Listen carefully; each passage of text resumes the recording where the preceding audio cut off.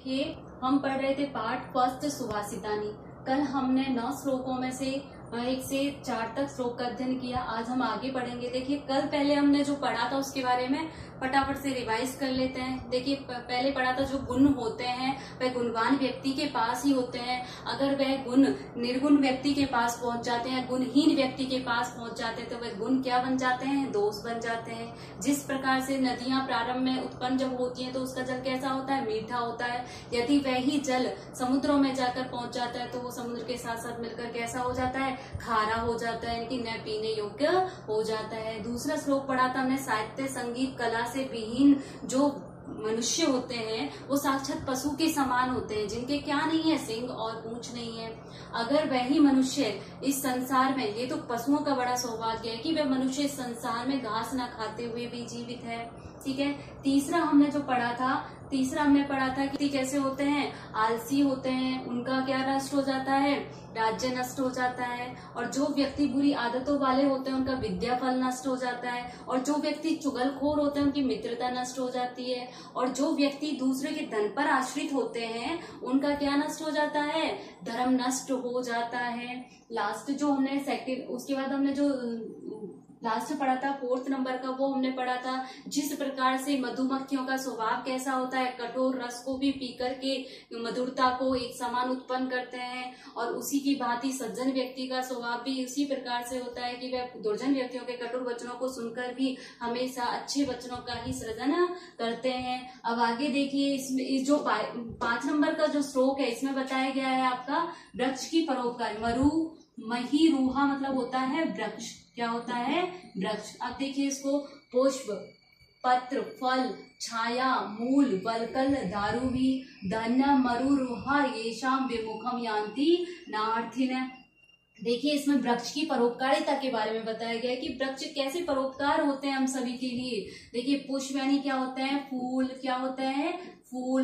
पत्र मतलब क्या होते हैं प्यारे बच्चों? पत्ते। क्या होते हैं? पत्ते। फल मतलब क्या होता है प्यारे बच्चों? फल। छाया मतलब क्या होती है? देखिए, वृक्षों से हमें क्या प्राप्त होती है? छाया भी प्राप्त होती है। मूल मतलब क्या होता है प्यारे बच्चों? जड़। बलकल मतलब क्या होती है प्यारे बच्चों? छाल। दारू भी मतलब क्या होती है? लकड़ी। क्या होती है प्यारे बच्चों? लकड़ी। ठीक है? धन्य धन्य है मरु वृक्ष।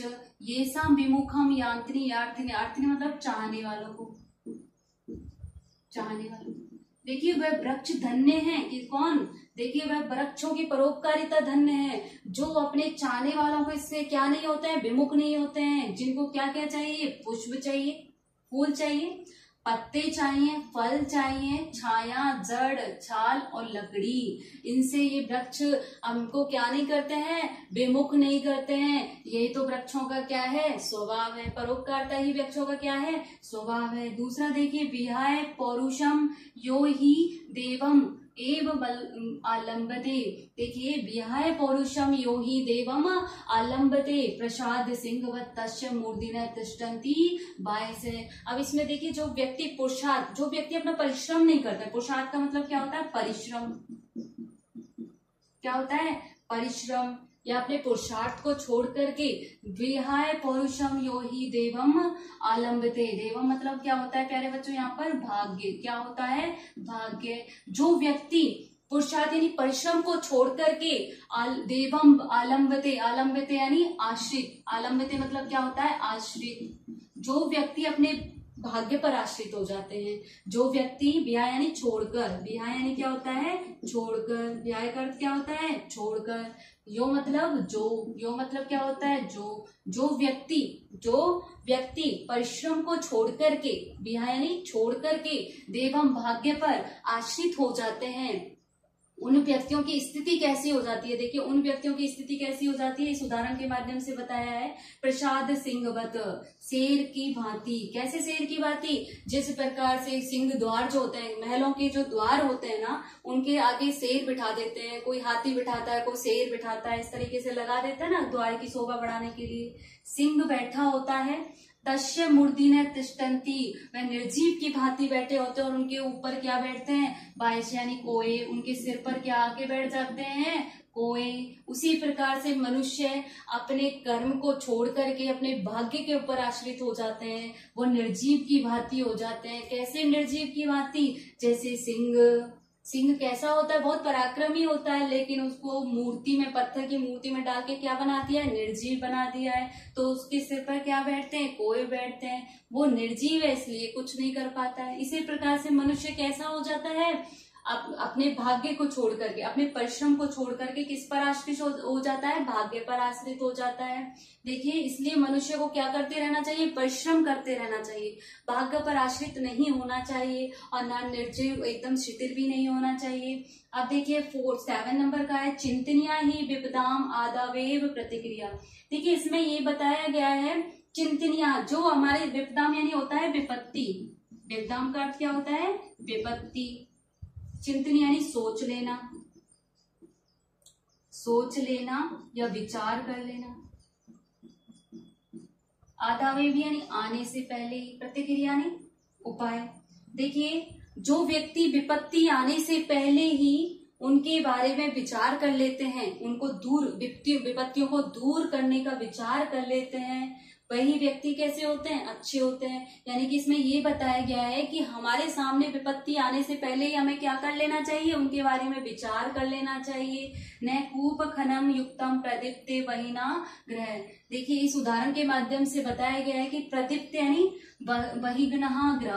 देखिए, प्रदीप्त यानी उत्पन्न होना। जैसे उत्पन्न होना। देखिए जिस प्रकार से घर में आग लगने से न कूप खननम युक्तम, बाद में उसके बाद कुआ खोदने से क्या लाभ? व्यर्थ है। देखिए, इसलिए घर में कोई भी विपत्ति आने से पहले हमें क्या कर लेना चाहिए? उसके दूर करने के उपाय के बारे में खोज लेना चाहिए। उसके दूर उपाय के बारे में, उसको दूर करने, विपत्तियाँ किस प्रकार से दूर होंगी, इसके बारे में हमें विचार कर लेने चाहिए। ठीक उसी प्रकार से इसमें उदाहरण के माध्यम से बताया गया है कि घर में आग लगने लगने के बाद कुएँ खोदने से क्या लाभ? अर्थात बाद में विचार करने, विचार करना व्यर्थ है। उसकी विपत्तियों का पहले ही हमें विचार कर लेना चाहिए। वापस से देखिए, इसमें वृक्ष की परोपकारिता के बारे में बताया गया है। इसमें कहा गया है कि जिस प्रकार से वृक्ष हमें फूल, पत्ते, फल, छाया, जड़, छाल, लकड़ी आदि देते हैं बिना कोई स्वार्थ के, ठीक है? और हमें, हमारी क्या करते हैं? हमारी आवश्यकताओं को पूर्ति करते हैं। उसी प्रकार से हमें भी कैसा होना चाहिए? वृक्षों की तरह परोपकारी होना चाहिए अच्छा व्यवहार करना चाहिए अच्छा बोलना चाहिए। विहाय पौरुषम।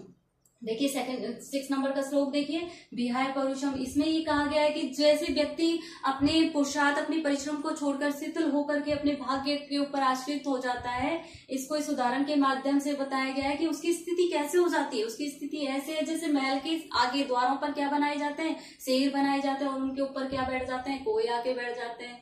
अब देखिए, कोई को पता है कि वो निर्जीव होकर बैठा है इसलिए। ठीक है, अगर वो सजीव होता, सिंह तो उसके ऊपर नहीं बैठते। अगर मनुष्य मेहनती होता तो वो उसको भाग्य पर आश्रित होना नहीं पड़ता, वो अपना भाग्य खुद बना लेता। अब देखिए सेवन नंबर का चिंतनिया ही विपदाम।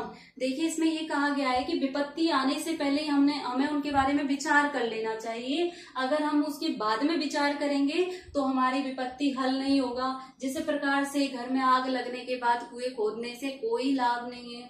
देखिए, इसके माध्यम से इसको बताया गया है। कल हम इसकी एक्सरसाइज के बारे में अध्ययन करेंगे।